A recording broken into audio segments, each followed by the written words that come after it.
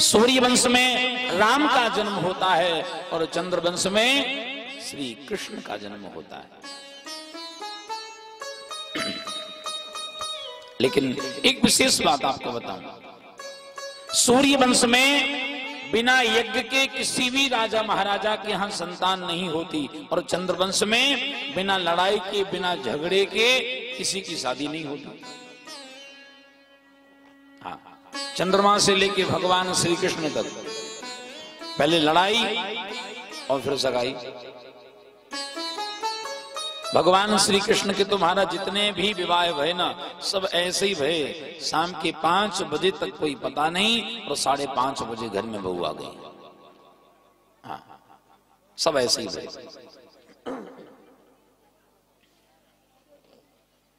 महाराज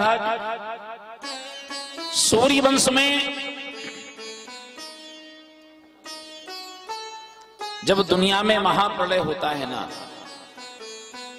महाप्रलय के बाद भगवान नारायण का प्राकट हुआ। भगवान नारायण की नाभि से कमल का फूल निकला। कमल के फूल से पितामा ब्रह्मा जी का प्राकट हुआ।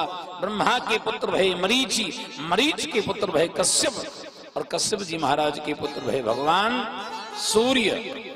जहाँ से सूर्य वंश प्रारंभ होता है। और इसी सूर्य वंश में महान प्रतापी राजा राजा अम्बरीश का जन्म हुआ, राजा सगर का जन्म हुआ, राजा भागीरथ का जन्म हुआ, जो गंगा जी को पृथ्वी पर लेकर के आए राजा भागीरथ। और उसी सूर्य वंश में राजा खटवांग महाराज दीर्घबाहु, और चलते चलते एक समय सूर्य वंश में अयोध्यापुरी की मिट्टी पर सूर्य वंश के एक राजा हुए, जिनका नाम हुआ महाराज दिलीप। राजा दिलीप का जन्म हुआ। एक कथा थोड़ा ध्यान से सुनिएगा, क्योंकि जो कथा मैं आपको सुना रहा हूँ ना, इसमें कुछ कथा, कुछ प्रसंग ऐसे भी हैं, जो भागवत में नहीं लिखे हैं और रामायण में भी नहीं लिखे हैं। कुछ प्रसंग हम अलग अलग जगह से लेकर सुना रहे हैं। अयोध्या के राजा महाराज दिलीप बने। लेकिन सूर्य वंश में ये नियम ही था, इतनी जल्दी आसानी से किसी के यहाँ संतान नहीं होती, किसी के यहाँ पुत्र नहीं होता।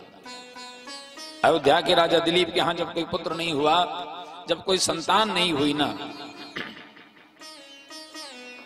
जब कोई पुत्र संतान नहीं हुआ तो महाराज दिलीप ने अपने गुरुदेव से पूछा, कहा, गुरुदेव, चौथापन आ गया है, बुढ़ापा आ गया है, हमारे यहाँ कोई संतान नहीं है, हमारे यहाँ कोई पुत्र नहीं है। आप कृपा करके बताइए, मेरे को संतान कब होगी और होगी या नहीं होगी, आप जरा बताइए। गुरुदेव ने वशिष्ठ मुनि ने विचार करके कहा कि, राजन तुम्हारे यहाँ संतान न होने का एक विशेष कारण है। एक बार तुमने रास्ते में चलते हुए एक गाय का अपमान किया था। और, उस गाय ने क्रोध में आकर के तुमको श्राप दिया था। कि तुम्हें अपना, अपने राजा होने का बड़ा अहंकार है। जब तक तुम एक साधारण आदमी की तरह गौ सेवा नहीं करोगे, तब तक तुम निसंतान ही रहोगे, तुम्हें संतान की प्राप्ति नहीं होगी। गुरुदेव ने कहा, राजन, तुमको श्राप लगा है। और तुम्हें गौ श्राप के कारण गौ माता की सेवा करनी होगी। जब तक गौ की सेवा नहीं करोगे तो संतान तुम्हें पुत्र कुछ नहीं हो सकता। राजा दिलीप ने उसी समय अपनी अयोध्या नगरी का त्यागन किया और अपनी पत्नी रानी सुदक्षिणा, राजा दिलीप की पत्नी का नाम था रानी सुदक्षिणा, और महाराज राजा दिलीप अपनी पत्नी रानी सुदक्षिणा के साथ साधारण आदमी की तरह वेश धारण किए और महाराज चले जंगल की तरफ़। गुरुदेव की जो गाय थी ना, जिस गाय का नाम था नंदनी, राजा, आज वो नंदनी नाम की गाय की सेवा जंगल में करने लगे। नित्य प्रति महाराज, रोज उस गाय को जंगल में ले जाते हैं, उस गाय को जंगल से घुमा करके लाते हैं। गौ माता की रोज शाम को आरती पूजा करते हैं। जो दूध मिलता है, वो गुरुदेव को देकर सेवा में प्रसन्न करते हैं। राजा का रोज का नियम हो गया, गौ माता की सेवा करना, गौ माता की पूजा करना। राजा को सेवा करते करते, राजा को सेवा करते करते महाराज बीस दिन हो गए। जंगल में झोपड़ी बना करके रहते हैं।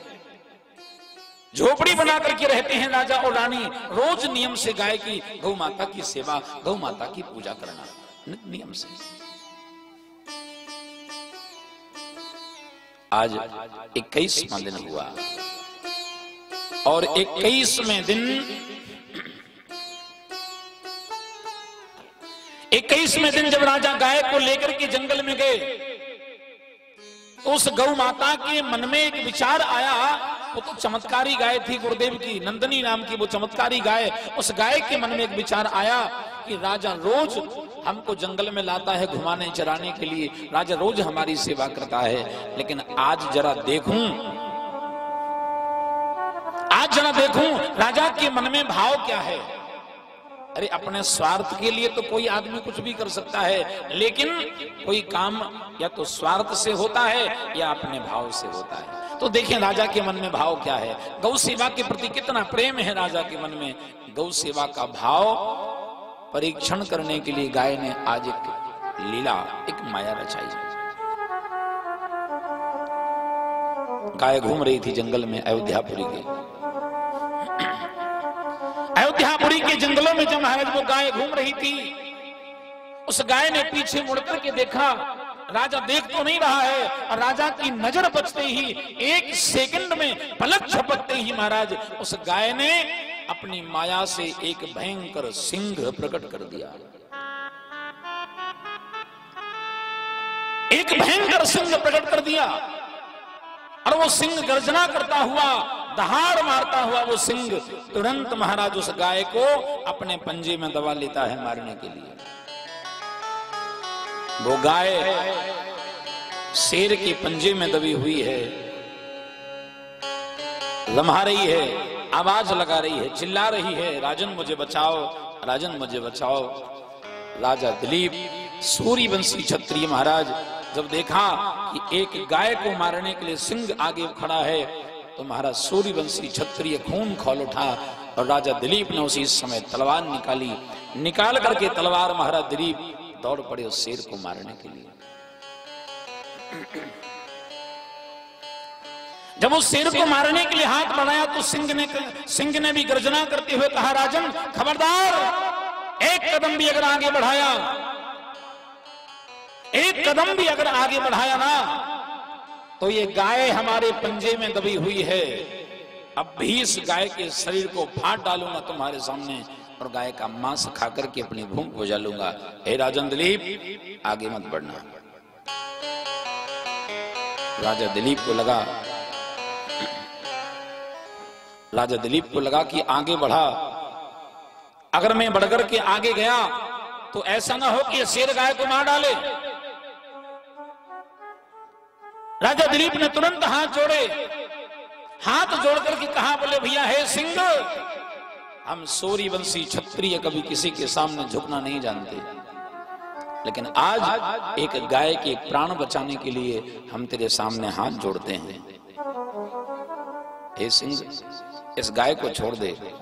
तू जो चाहे, तू जो कहे, मैं करने को तैयार हूँ। लेकिन इस गाय को छोड़ दे। हम सूर्यवंशी क्षत्रिय प्राण त्याग सकते हैं, लेकिन गाय की हत्या आँखों के सामने तो नहीं देख सकते। गाय की हत्या तो आँखों के सामने हम नहीं देख सकते? उस सिंह ने कहा कि राजन, अपना समय खराब मत करो।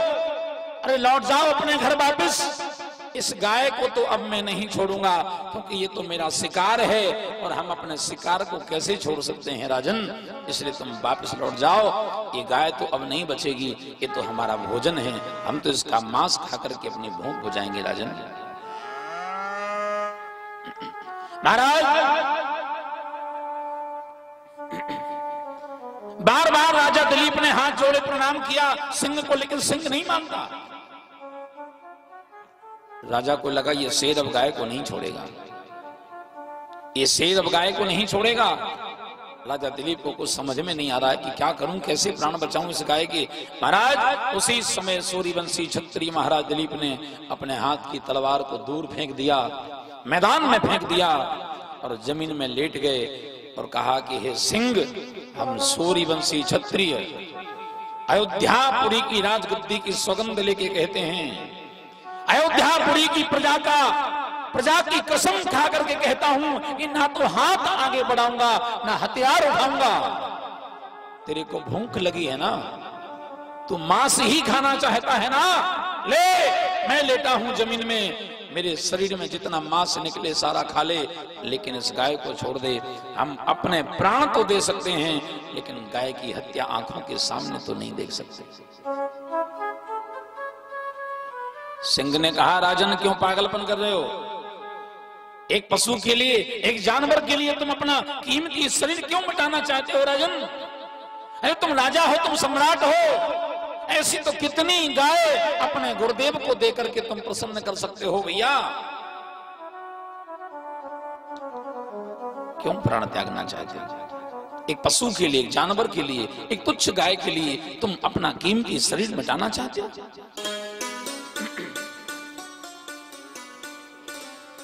राजा दिलीप ने कहा, खबरदार सिंह, एक गाय तेरी नज़रों में एक पशु हो सकती है, एक जानवर हो सकती है, लेकिन हम भारतवर्ष के निवासी, हम भारतवर्ष के निवासी, हम सूर्यवंशी क्षत्रिय, इस गाय को पशु नहीं, इस गाय को जानवर नहीं, इस गाय को हम माँ का दर्जा दिया करते हैं, इसको हम माँ की तरह पूजा करते हैं, और जो अपनी माँ की रक्षा ना कर पाए वो सच्चा प्रजा का पालक, वो सच्चा क्षत्रिय नहीं हो सकता, जो अपने धर्म को ना निभा सके, जो अपने माँ की रक्षा ना कर ना कर सके, जो गौ माता को ना बचा सके, वो प्रजा की सेवा, वो जनता को क्या बचाएगा?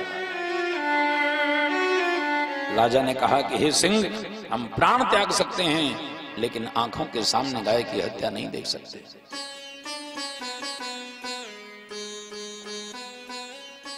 ज़मीन में पड़ी हुई वो गाय जब गौ माता के कानों में वो शब्द सुनाई पड़े, अरे, हम इस गाय को पशु नहीं, इस गाय को हम माँ का दर्जा दिया करते हैं। इसको हम माँ की तरह पूजा करते हैं। सुनते ही महाराज गौ माता की आँखों से आँसू बह पड़े। एक सेकंड में पलक झपकते ही महाराज वो शेर तो गायब हो गया, माया का बनाया हुआ था, जादू का बनाया शेर था, वो शेर तो गायब हो गया और उसी समय वो गाय ज़मीन से उठ करके खड़ी हुई, कहा, राजन दिलीप, उठो, खड़े हो जाओ, मैं तुम्हारी गौ भक्ति से प्रसन्न हो गई, राजन। धन्य हो तुम जैसे वीर और धन्य हो तुम जैसे क्षत्रिय, जो एक गाय के प्राण बचाने के लिए तुमने अपना कीमती शरीर भी दाव पर लगा दिया। धन्य हो, राजन। हे राजन दिलीप, हम तुम्हें वरदान देते हैं। आज तुम्हारे यहाँ संतान नहीं है, तुम्हारे यहाँ पुत्र नहीं है। तुम्हारा सूर्य वंश डूबने वाला है। सूर्य वंश का सूर्य अस्त होने वाला है। लेकिन तुमने गाय की सेवा की है ना? तो ये गाय तुमको आशीर्वाद देती है, राजन। एक ऐसे पुत्र का जन्म होगा।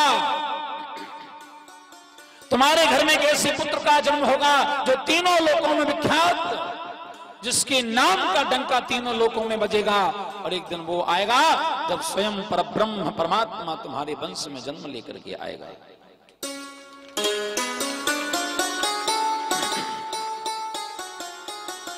गौ माता ने कहा कि राजन दिलीप तुम्हारा सूर्य वंश डूबेगा नहीं। हम तुम्हें वरदान देते हैं कि तुम्हारे पुत्र के नाम पर ही तुम्हारे वंश का नाम अब आगे चलेगा। और महाराज, गौ माता के आशीर्वाद से राजा दिलीप के यहाँ एक पुत्र हुआ, जिनका नाम हुआ महाराज रघु। और अब रघु महाराज ने इतना नाम, इतना यश, इतनी कीर्ति कमाई कि सूर्य वंश का नाम तो बंद हो गया और सूर्य वंश का ही दूसरा नाम हो गया रघुवंश। बोलो रघु महाराज की। लेकिन ये जो कथा है ना ये त्रेता युग की है। और कहा की है? अयोध्या की कथा है। लेकिन एक बहुत अच्छी बात मैं आपको बताऊँगा। हमारे भारत में एक और अयोध्या है। अयोध्या एक नहीं है, अयोध्या दो हैं। और दो अयोध्या कौन सी हैं? एक अयोध्या है हमारे बुंदेलखंड की भूमि पर। एक अयोध्या हमारे बुंदेलखंड की भूमि पर भी है जिसका नाम है श्री ओरछा धाम।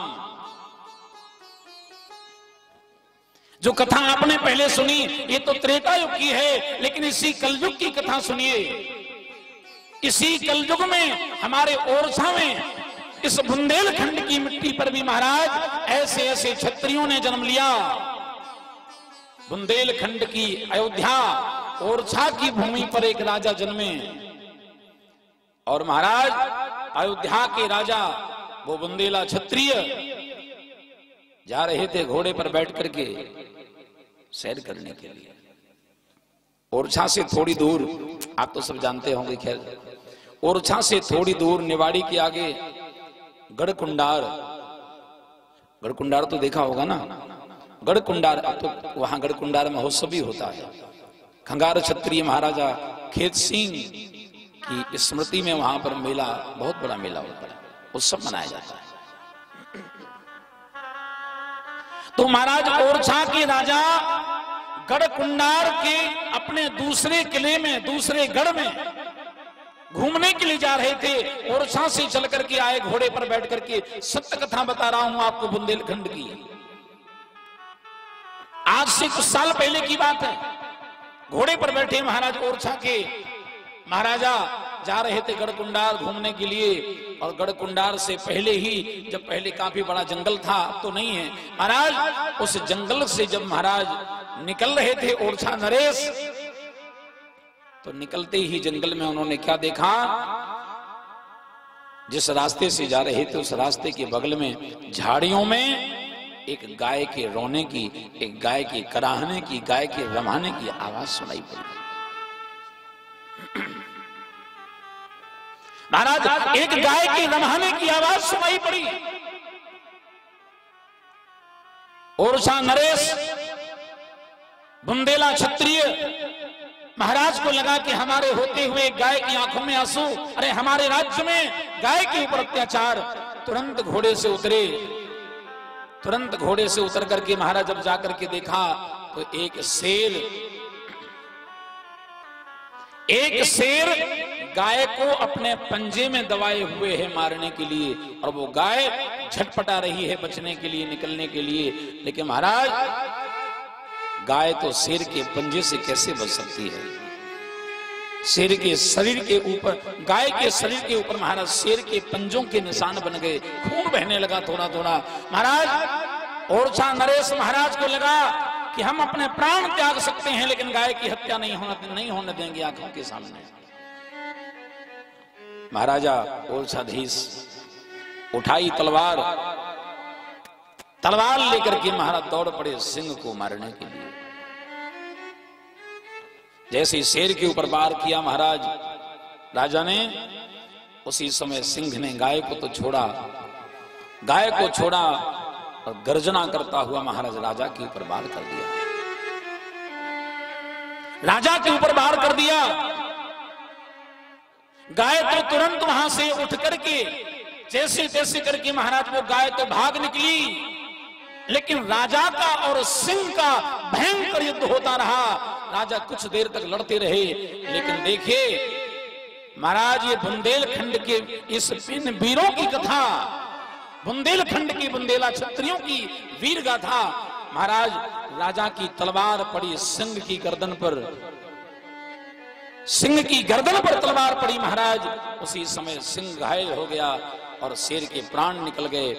लेकिन मरते मरते सिंह ने जैसे राजा के ऊपर बार किया तो महाराज शेर के लंबे लंबे वो नाखून राजा के गले में लग गए और राजा के गले में लग जाने के कारण महाराज ओरछा नरेश के प्राण निकल गए। राजा ने प्राण त्याग दिए, उसी जगह पर शेर को भी मार दिया और शेर ने राजा को भी मार दिया, लेकिन एक गाय के प्राण बचा लिए। एक गाय के प्राण बचा लिए महाराज राजा ने।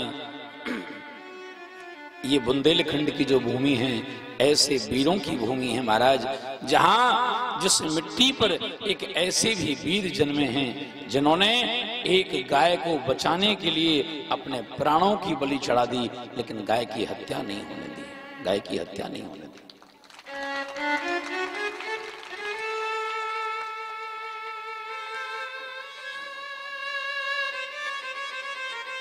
हमको गर्व होना चाहिए इस बात पर। हमको गर्व होना चाहिए इस बात पर महाराज, कि सबसे पहले तो हम उस भारत देश के निवासी हैं। सबसे पहले तो मार्ग हम उस भारत देश के निवासी हैं, और भारत देश में भी हम लोग बुंदेलखंड के निवासी हैं। उस बुंदेलखंड के निवासी हैं, जिस बुंदेलखंड की मिट्टी की महिमा पूरी भारत पूरी भारत में गाई जाती है। आप भारत के किसी भी कोने में चले जाइए, बस इतना कहिए कि हम बुंदे, हम बुंदेलखंड के हैं। लोग आपको झुक करके प्रणाम करेंगे, इसलिए आप बुंदेलखंड के हैं। लोग कहते हैं हम जाते हैं पूरे भारत में जगह जगह भले ही हम राजस्थान में रहते हों हाँ, कुछ लोग हमको राजस्थान का समझते हैं कई जगह। लेकिन लोग लोग कहते हैं कि हम दंडी हैं पाखंडी हैं हम घमंडी हैं। लेकिन ना तो हम दंडी हैं, ना पाखंडी हैं, ना घमंडी हैं। और घमंड है भी ना तो इस बात का ये आखिर में हम बुंदेलखंडी हैं। घमंड है भी तो इस बात का, ये आखिर में हम बुंदेलखंडी हैं। एक बार बुंदेलखंड के वीरों के लिए जोरदार तालियाँ, उन बुंदेलखंड के वीरों के लिए जिन्होंने भारत की मिट्टी पर बुंदेलखंड का परचम लहरा दिया।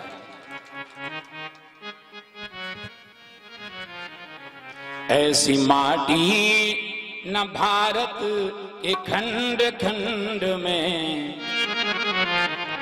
ऐसी माटी न भारत के खंड खंड में। जन्म दैयो विधाता बुंदेलखंड में। जन्म दैयो विधाता बुंदेलखंड